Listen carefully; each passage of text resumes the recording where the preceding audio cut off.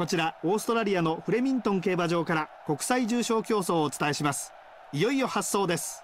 スタートしました。各馬揃ったスタートです。まずは先行争い。ファントムチケット。前に行きそうです。ベルモントスペイン。それに続いています。さらにはタイキシャトル。2番ラガーミラージュ。その後ろ。シーズメドウ。どうやら後ろからになりそうです。前に戻りましょう。ミッドナイトエクセル。先手を取りました。好位置をキープしています。タイキシャトル。内からはラインシップ。ハイプロテクター。その内に続いています。その外にサンタフェウエスト。ベルモントスペイン。その内に続いています。並んで3番リッチボールド。その外からエターナルチャームその外にシーズメドウその外からグラスエデン残りあと 400m 長い直線。ここからどうか。ここで先頭に立った。待機シャトル。残り 200m 後続を大きく引き離しました。残り 100m 後続は大きく離れた。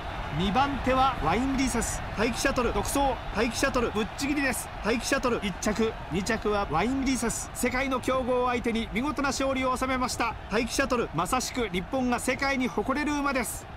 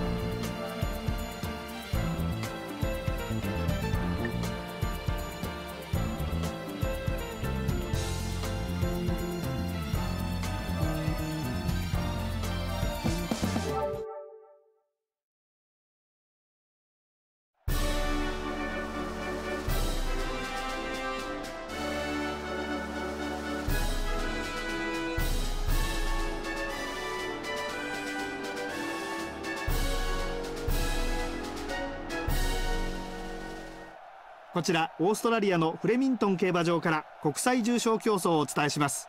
いよいよ発走です。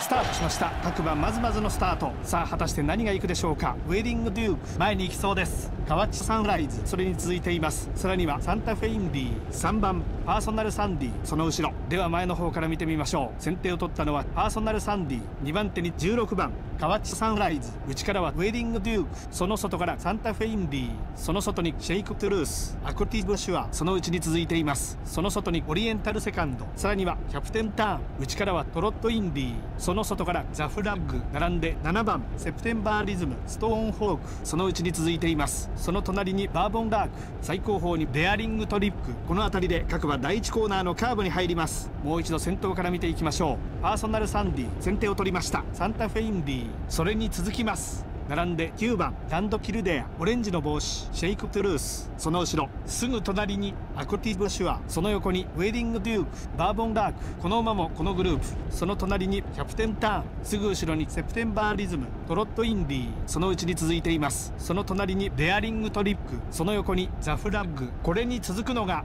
レッドジュピター。しんがりからストーンホーク。各馬鮮やかな芝生の上を駆けていきます。前の方からもう一度見ていきましょう。ここで各馬第3コーナーのカーブに差し掛かりました。先頭から最後方までおよそ10馬身。よどみのない展開になりました。では前の方から見てみましょう。先手を取ったのはサンタフェインディ2番手に16番カワチサンライズ。その隣にシェイクトゥルース。その横にパーソナルサンディすぐ後ろにウェディングデューク。その隣にランドキルデア。その横にザフラッグ。黄色の帽子。アクティブシュアその後ろ。すぐ後ろにバーボンラーク。並んで2番。トロットインディ内からはデアリングトリックさらにはストーンホーク。しんがりからセプテンバーリズム。この辺りで先頭が変わりました。ザフラッグ。ザフラッグ。さらにリードを広げました。2番手の河内サンライズ先頭を捉える勢いです。最終コーナーをカーブして直線コースに入りました。最後の追い比べ先頭は河内サンライズ。突き放しにかかります。2番手はトロットインディあと 200m 河内サンライズ。先頭だ。残り 100m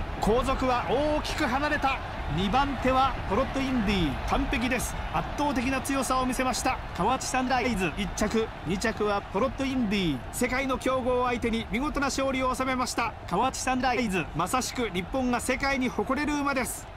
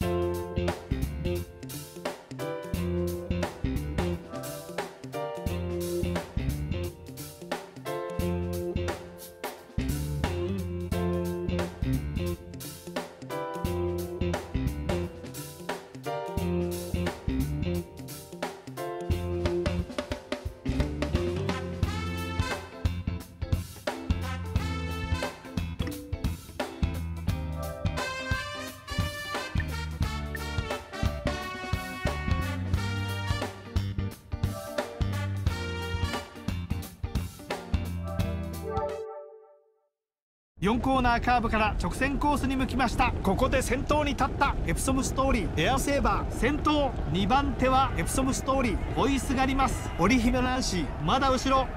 懸命に前を追っています。エアセーバー。先頭。差はほとんどない。エアセーバー。厳しいか。オリヒメナンシー差し切った。オリヒメナンシー1着。オリヒメナンシー1着。2着にはどうやら。エアセーバー。1番人気に応えました。オリヒメナンシー見事です。